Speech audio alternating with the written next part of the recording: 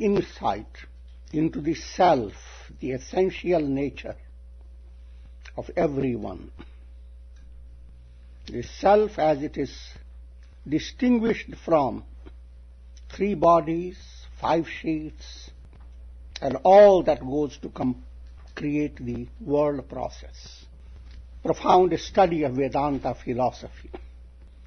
First focus your mind at the physical body. How human mind goes through countless sufferings on the basis of physical body. And by God's grace, one thing doesn't open up to the mind that you have gone through in every embodiment, all those sufferings. Another thing doesn't open up to your mind. How many embodiments I have did I have? trillions and trillions. Countless bodies have come and gone. It should have been a simple task for the mind to step beyond the body, but it is not a simple task. Because if you are not aware of the body or ignore your body, then you will stay nobody. you will not make any progress. If you became confined to the body, absolutely resigned to it, then you will not make any progress. You have to use the body just like you use a ladder to step beyond the ladder. Use your body to step beyond the body. Human mind is so accustomed to the idea I am the body. The mind is flowing through a nervous system. And only that part of the mind which is, is trapped with the nervous system sustains the notion I am the body. The major part of the mind, which is beyond the nervous system, that mind needs to be understood, needs to be unfolded. Your mind has to tune to that mind for profounder life.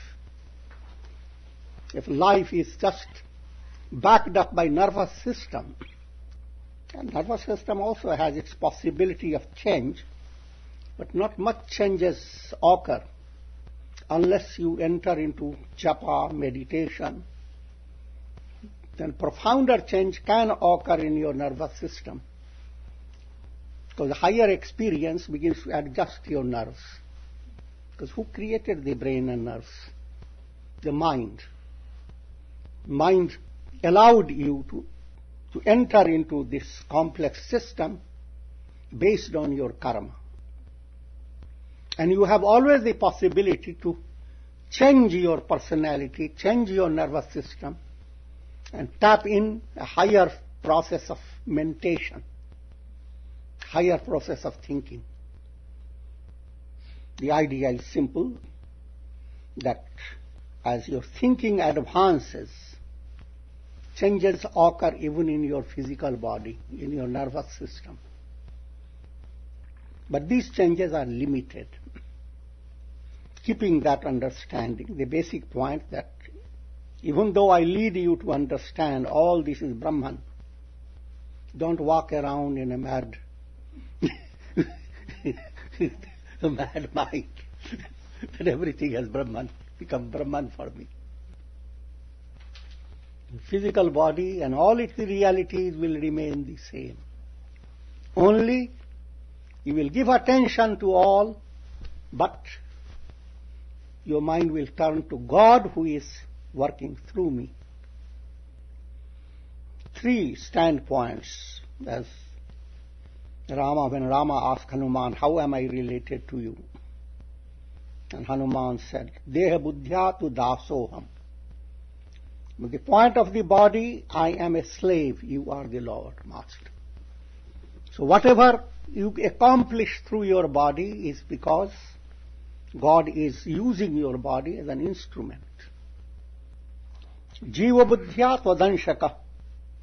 When you come to realize you are a soul that has moved through many embodiments, then must realize you are a, a part of God. You are just like a ray Soul is a ray and God is like the sun. Now, before you there is a possibility of tapping from the sun. How much is the potentiality of a ray? As your mind advances, you understand its potentiality is limitless because it is the sun. How much can you become God-like? There is no limit. Be as perfect as the Father in heaven. You are made in the image of God. And if you go further up, God alone is. Atma Buddhya Tavaivaham. Go into the deepest level. There is no, there is only non-dual absolute self.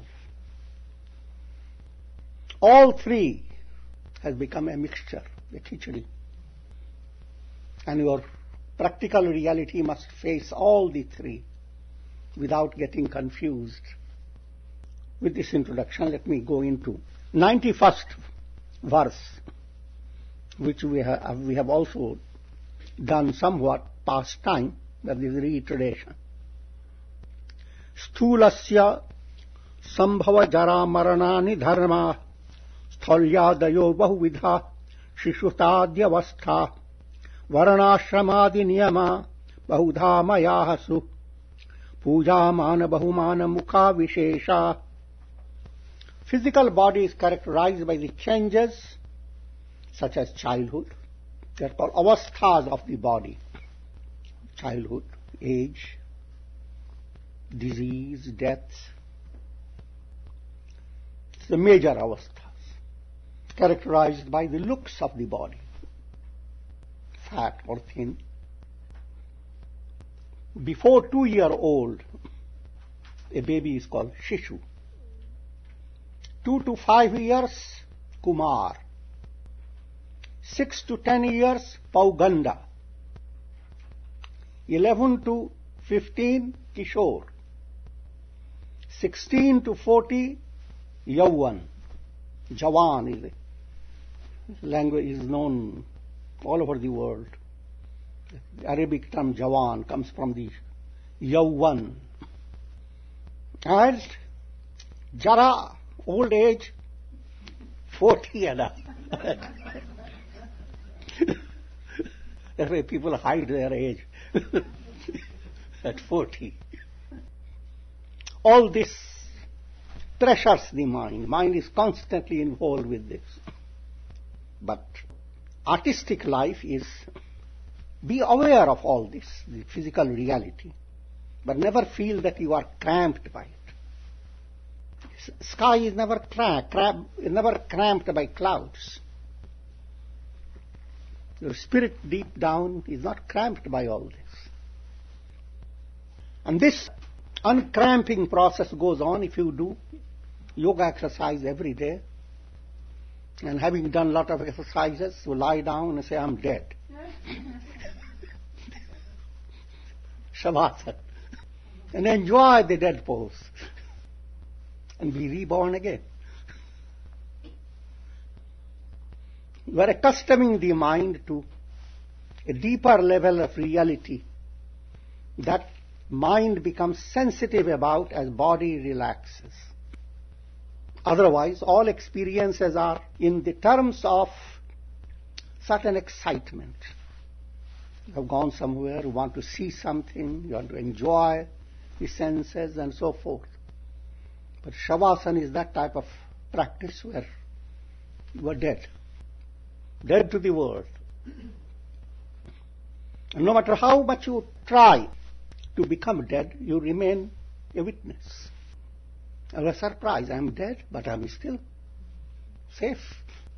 I am cannot die. The body comes, goes. Body is mortal. Living with the body, with increasing awareness, the body is only my tool, an instrument, an overcoat. That's called real life.